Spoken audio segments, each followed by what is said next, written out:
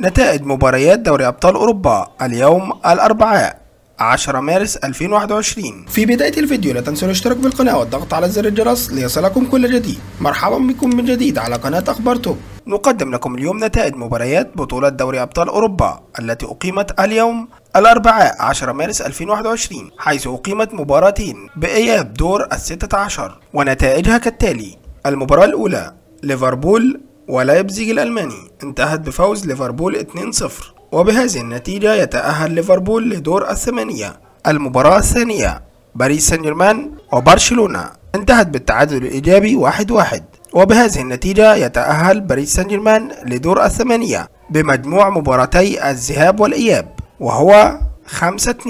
وفي النهاية إذا عجبكم الفيديو لا تنسوا اللايك والشير